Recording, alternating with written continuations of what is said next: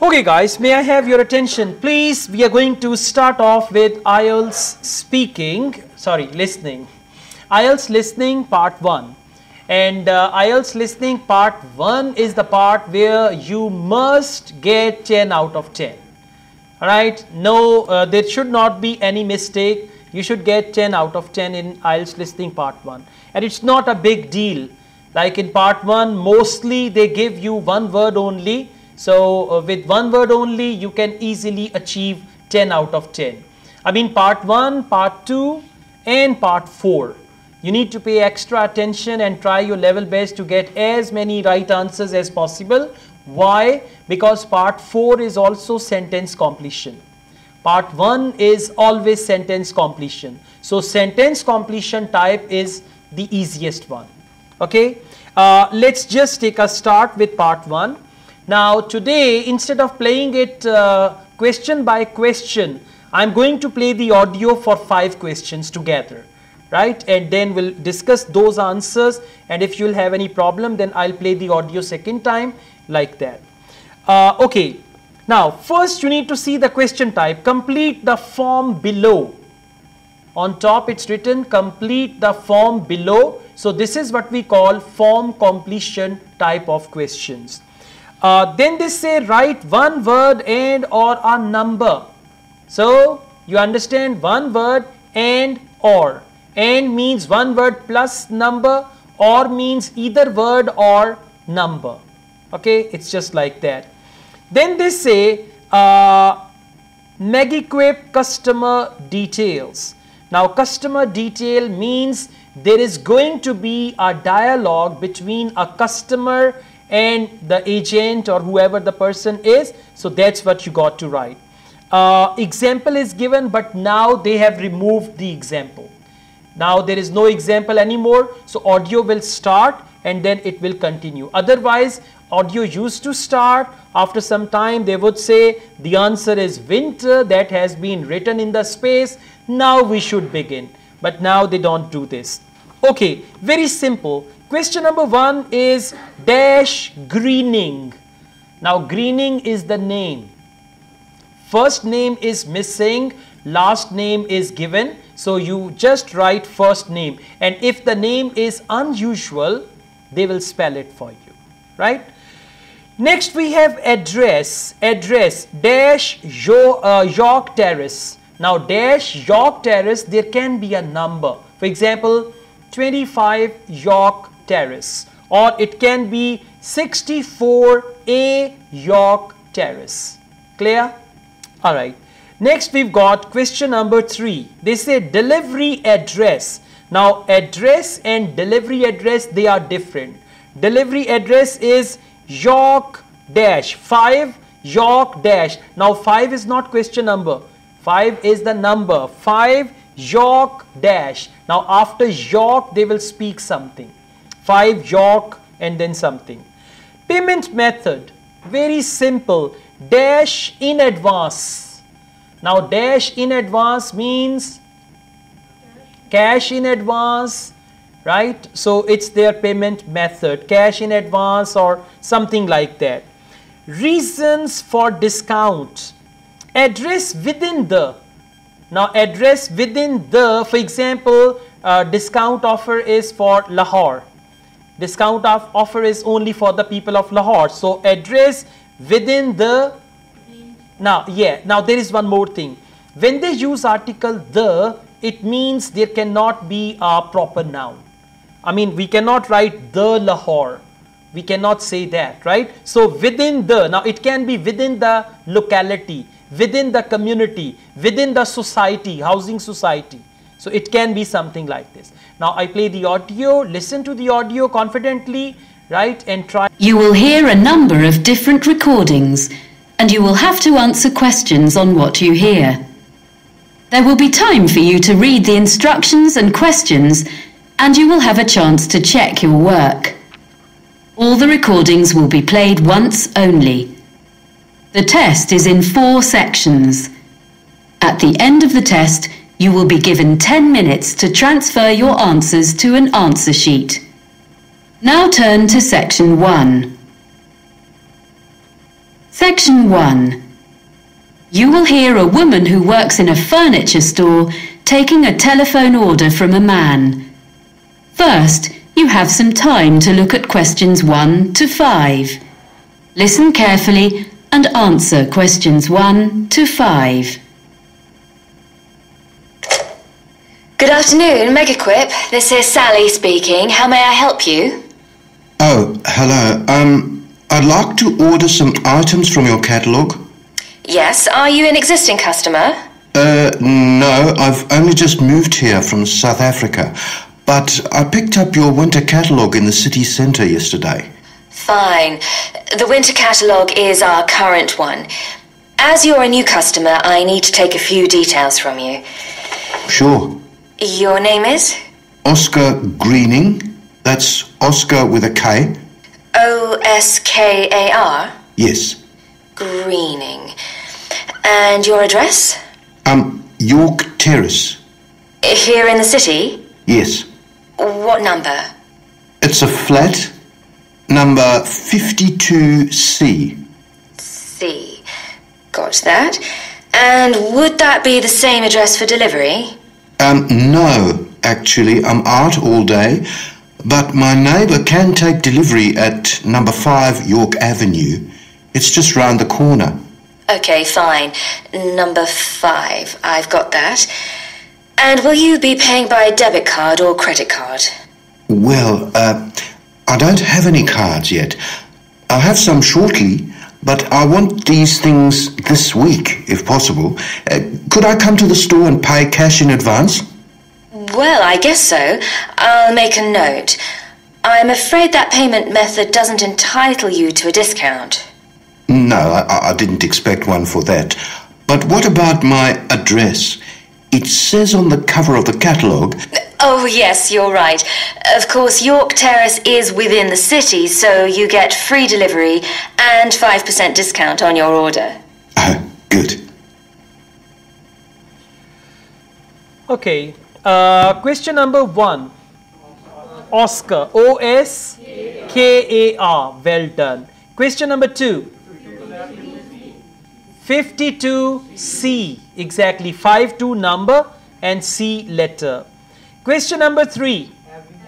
Avenue. A V E N U E. By the way, I will share the audio in the uh, class group, WhatsApp group, so you can just see it there. Uh, question number four. Cash. Very good. And question number five. City. Within the city. Well done. That's great.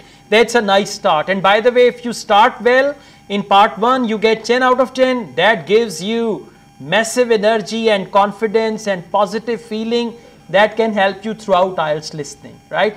शुरू में ही सत्यानाश हो गया थे आय हाय अब क्या होगा so you know that feeling will come and all that okay guys questions 6 to 10 complete the table below write no more than one word and or a number again no more than one word uh, again th- they got this uh, megaquip customer order now we've got this table and within the table you can see they have item catalog number catalog section color delivery notes. So item first is desk lamp. Catalog number is given. You just need to overlook that. After that we've got catalog section. Now the section is uh, that's what question number six is about catalog section. So like you can see two sections are given. Home office and commercial. So it's going to be something like that. Now what is home office? In home office they are going to give you the things which are related to that. And uh, commercial means the commercial so it's going to be something like that. Question number 8 you can see it's about color. Two colors are mentioned. One is slate one is uh, gray. So question number 8 is about a color. Question number 7 and by the way audio will go according to question number but you can read questions in any order i mean you can read like column wise we call it column yeah you can read column wise uh, okay, then you can see we've got delivery notes. So question number seven is customer will, customer will take, customer will something like that. Okay, and uh, by the way, after will over here we will use first form of the verb. it means the answer is going to be a verb, right? Customer will. Uh, then question number nine. Item is desk lamp, chair already mentioned. And question number nine is filling cabinet, two drawers with dash. Now it is something that comes with the drawers. Two drawers with dash, two drawers with handle. What else? Two drawers with, come on, use your imagination. What is it that we have with drawers? Drawers have handles, drawers have, that's the answer. Okay, so you have to switch on your imagination and you got to go deeper into that situation. Okay, then we've got question number 10 delivery notes. Direct from London, no later than. No later than means it's a date. No later than. It's a date actually. So they will mention the date and you can write it down. Now I play the audio. You got to find the answers to questions 6 to 10. Before you hear the rest of the conversation, you have some time to look at questions 6 to 10. Now listen and answer questions 6 to 10. So, what would you like to order? You have our current catalogue, you say? Yes, I need three things for the room where I study. My office, I guess. Um, the most urgent is a desk lamp. Is your catalogue number 664 in stock? 664? That's, um, not home office. It's in the living section of the catalogue. It is. I want a small one that clips onto the edge of the desk. Yes, no problem. In which colour? I'd like the greyish coloured one, please. Oh, you mean the shade we call slate? Yes, it's a nice colour. And um, I wondered, could I get that when I come in to pay rather than waiting for delivery? I really need to be able to read at night, and the lights in this flat are useless. yes, I'm sure that'll be okay. I'll note down that customer will collect. What else did you want? Well, I need a chair which gives good support when I'm using my computer. I saw one in your home office section and I think it would suit me. It's on page 45, item number, oh, um, 129. Mm, yes. And it's fully adjustable, isn't it? Let me see. Height, yes. Back, yes. I'm not sure about the arms, though. Oh, that could be a problem. I'm very tall. What about 131 on the same page? That has adjustable arms, seat, everything. But can I get that in the same colour? I mean, the green, like the one it shows. Oh, they all come in the full range of colours. Okay, so I'll, I'll go for 131 in green then. Hmm, I think you'll like that. My brother's very tall and he uses one. We can make sure there's one on the delivery van to you early next week. Oh, good. Thanks. And so, lastly, I need a filing cabinet for my documents a little filing cabinet with two drawers. Okay, two drawers. Do you want the ordinary one or the lockable one? It's an extra £20. Uh, sorry, what's that? You can have it with a lock, which is more secure. Oh, yes, please. Okay, so that's number 153. It doesn't by any chance come in slate, does it? Well, it's similar. But the commercial office furniture doesn't come in so many shades. So it's grey? That's right. Fine, that'll do. Now, about delivery. The two items will probably come at different times, as we have the chair in stock here, so our van will bring it, as I said. The filing cabinet will be coming direct from London, so today's the 29th of September say not more than four days. That'll be delivered on or before the 3rd of October. You'll have them both within four days. That's fine. I'll drop in tomorrow morning to pay and get the lamp. Um, thanks for all your help. Thank you for your order. Let me know if we can do anything else for you. Thank you. I will. Bye. Bye. All right. So they were speaking in a very relaxed manner and all that. Uh, well, question number six. Living. L I V I N G. Very good. Living. Question number seven. Collect. Very good. C O L L E C T. Question number eight. Green. Well done. Question number nine. Lock. And question number ten. 3rd October, exactly. See that later than, when we use later than, you cannot say later than 4 days. It would be within 4 days. So later than 3rd October. 3 October, and you can write date anyways. 3 October, 3rd October, October 3rd, like that. Yeah? No, listen, if you write 3RD, it is one number cardinal numbers and ordinal numbers. So 3RD is one number. Okay? Yeah. Then, then it is correct. 3 October, 3rd October, October 3, October 3rd, 3rd of October. Yeah, that will be fine. But it's one word, so 3rd October is okay. Alright guys, please now come to next page. Feeling alright?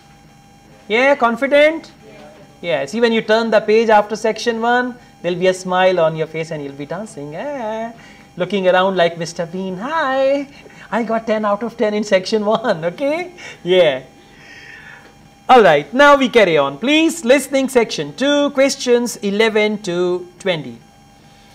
Uh, questions 11 and 12. Now, this is very important. In section 2, you usually come up with something like this. Choose two letters uh, over here, two things are important. Number one, the question. Question says, which two things make the museum unusual? Now, what is unusual? They only have that. Others don't have that. Okay, so out of five things, two things make the museum unusual. Otherwise, for example, if they say guides, Say, well, as you know, in every museum there are the guides and it is not anything special, but we especially run some events and that is a specialty or that is what others don't offer. Now, that is what others don't offer, that is unusual. So, for unusual, they might use the word especially, special, we only have that, we specialize in it, something like that. Now, you got to listen they will talk about all five options in any order. The first thing is you need to see about which option are they talking. The first thing you are going to do, never read article in multiple choice. What is article? The. Now you can see, I mean there are two ways of reading it. One is which two things make the museum unusual? A. The guide. B. The events. C. The animals right one way is this and second way is which two things make the museum unusual? Guides events animals buildings objects. So this is faster and better. Is that clear? Yeah don't read question number like a b c d. Just focus the words. So first you will see in the audio are they talking about guides first or they may start from objects? So you got to see if the objects are unusual very special. They say we have a collection from it 17th century. We have some uh, relics from uh, 13th century, something like that. That is how, I mean the language will tell you that this is unusual. Next, questions 13 and 14. Choose two letters. Which two things can visitors do at the museum? Now, when they say which two things can the muse uh, can the visitors do at the museum? It means out of five things two things visitors can do and three things they cannot do. They are not available. They are not there. Visitors cannot. For example buy homemade bread. Now if they say well we used to offer homemade bread because our cook has got married recently and he's gone to another town so we don't offer that. So it means a is a trap. We call it distraction or we call it trap. Then they talk about ride a horse. Say, yeah, you could ride a horse, but our horse is suffering from flu, so you cannot do that. Just mazak right? So you need to see their tone. Out of five things, two things you can do means they are available and other things are not available. Is that clear? So uh, by the way, for A, homemade bread, B, horse, C, tram, D, couples of original posters. Okay, couple mean like two posters, not that couple that you are smiling. Couples of original posters, uh, then buy copies of original posters, sorry, yeah, copies, not couples, I'm mistaken. Go down a coal mine. So, coal mine, original posters, tram, horse, homemade bread. Now, I play the audio and all four questions you have to answer. And by the way, for 11 and 12, these are two questions, so two marks you will get. That is the end of section one. You now have half a minute to check your answers. Try to make it forward. Brampton focuses on life during the 19th century. It's going to start now. Now turn to section two. As you can see, Brampton is an open-air museum. The first open-air museums were established in Scandinavia towards the end of the 19th century, and the concept soon spread throughout Europe and North America, and there are several in Britain, all of which tell the history of a particular part of the country. Brampton focuses on life during the 19th century. The site was chosen because there were already some historic 19th century buildings here, and others have been dismantled in different parts of the region and rebuilt on the site. This hadn't been attempted before in these parts, so we're very proud of what we have here. All of the buildings are filled with furniture, machinery and objects. You may be able to see these in other museums, but not in their original settings. What also sets Brampton apart from other museums is that the story of the exhibits is told not by labels, but by costumed staff like myself. I look after sheep, cows and hens, which are much the same as those you see on modern farms, but I use traditional methods to care for them. You will also be able to see a blacksmith and a printer, as well as other craftspeople. If you talk to them, you'll be able to find out what life was really like 150 years ago. Our programme of activities during the year has guided walks, an agricultural fair, and all the other events you would expect a museum to have. But remember, here you experience them in the real surroundings. The site is divided into different areas. The main building contains our High Street, which is a street of 19th century shops, offices, and some homes. There's a stationer's shop which sells a range of specially selected cards, prints, and copies of Victorian stationery, all available for purchase by visitors. Upstairs, in the same building, a printer demonstrates the production of posters, business cards, and advertising material. Across the street from the stationer's is a clothes shop. And there's a baker's where you can watch a demonstration of someone making bread, cakes, and pastries. We also have a sweet shop, which has old fashioned sweets for sale. Vintage trams travel along from one end of the street to the other, carrying visitors on their journey into the past. We will also be visiting the farm and taking a ride on a steam train. Of course, the main form of transport in those days was the horse, and you can watch horses being exercised in the old stables.